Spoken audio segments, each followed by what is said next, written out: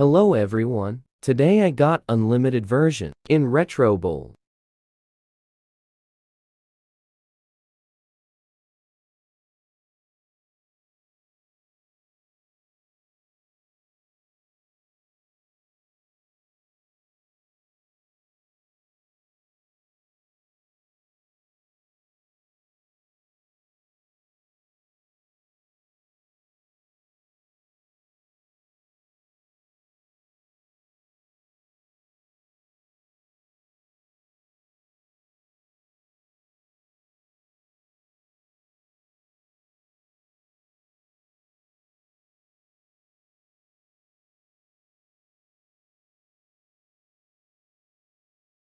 I had to check if I was recording.